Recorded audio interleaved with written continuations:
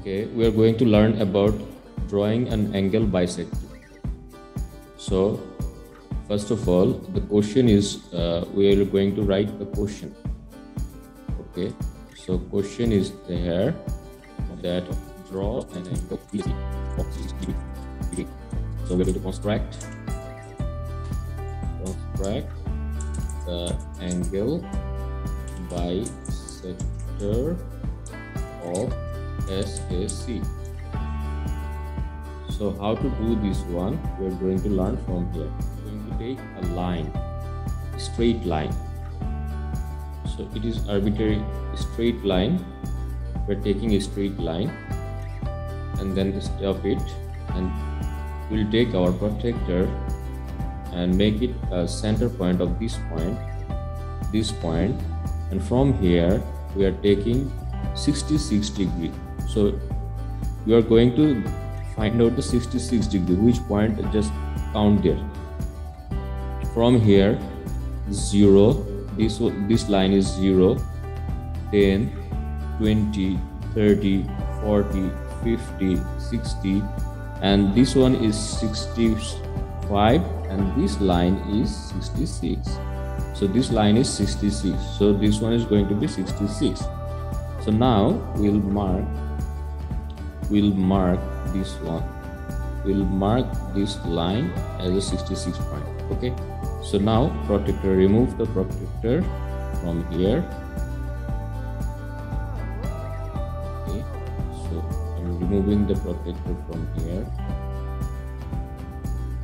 This line i'm removing. So removing the protractor from here.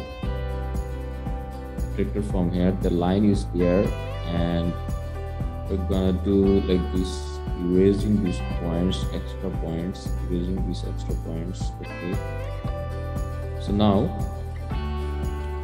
we just draw with the ruler or else no need to ruler. Uh, just draw use your use your ruler okay? Use your ruler and make this line make this line. Take this point okay from here this point we'll take this point and join this one. So this line is actually 66 degree. Okay. Now i will show how to make uh, how to bisect this angle. This angle is actually 66 so this angle is 66 degree. This one is 66 degree. Okay. So now i am going to show you how to bisect this one okay?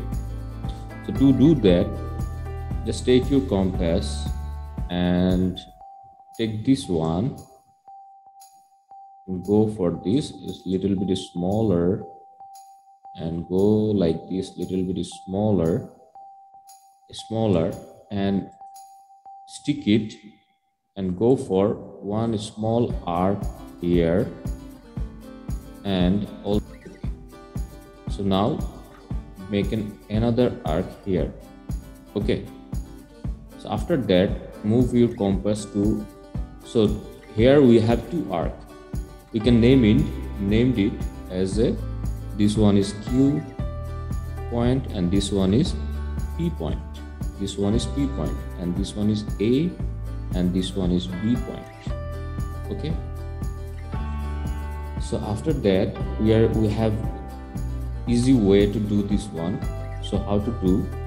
Just take your compass and put it in the p point p point put it into p point. Then uh, take the measurement on take the measurement till this point q point. P and q will be same okay? Then close it and go for it. Go for this one is going like this this point and make another arc here. Okay? Again take your key point of your compass and go to the q point. Q point. And again go for this point and make it easy arc again. Okay now it is making a point. That is arc 1 and arc 2 and the point is this one is r this point is actually r r point okay? R point.